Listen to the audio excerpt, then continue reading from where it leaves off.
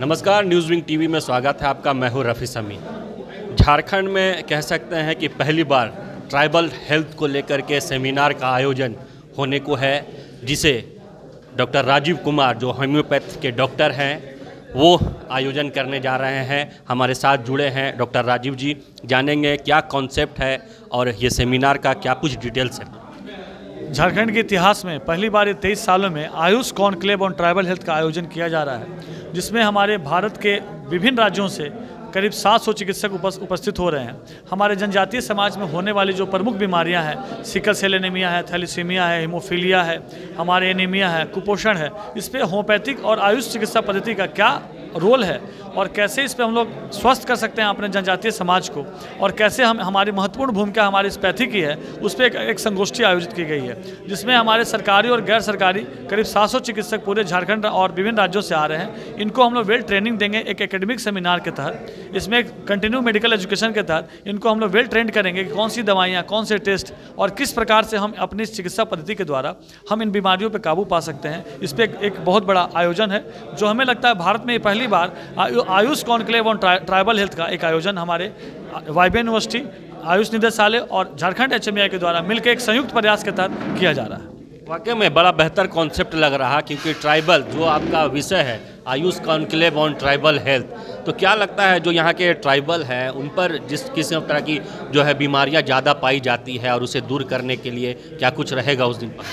उसमें हमारा जैसे सबसे बड़ा ट्राइबल का पूरे भारत में ही मुद्दा है sickle cell anaemia thalassaemia anaemia कुपोषण और साथ में टाइफाइड और हमारा जो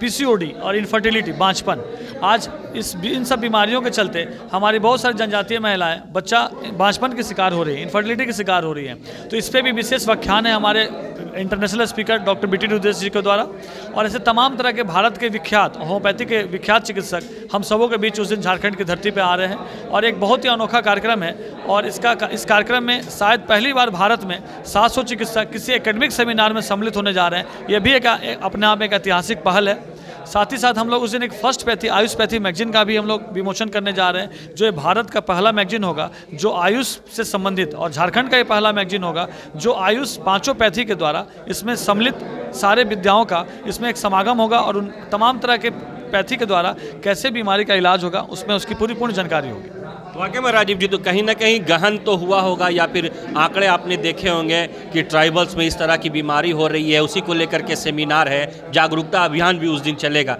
काफ़ी बेहतर प्रयास है। लेकिन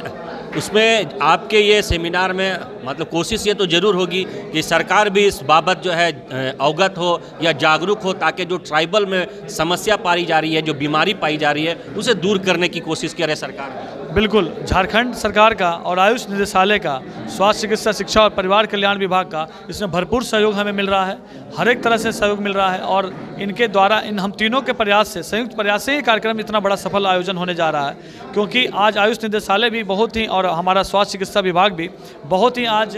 प्रॉम्प्ट है इन चीज़ों के लिए, आदिवासी समाज के लिए। और हमारे देखेंगे कि आज आने वाले कुछ कुछ सालों में, एक दो सालों के अंदर में बहुत सारे आयुष चिकित्सकों की बहाली भी हुई है, जो एक बहुत बड़ा स्ट्रेंथ है हमारे पूरे झारखंड में। तो सुना आपने, ये थे हमारे साथ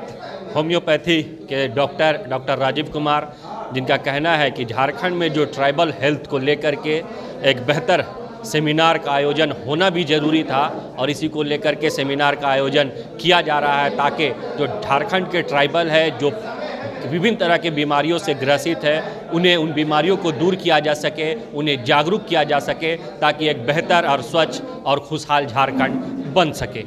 सहयोगी उदय के साथ रफ़ी समी न्यूज़ विंग रांची। टफन एक्सटी 600 HCR TMT रिवा पहले भी बोला था अगर घर को बनाना है एक्स्ट्रा टफ तो आप भी दिखा सकते अपनी हीरोपंती टफकॉन एक्सटी के साथ।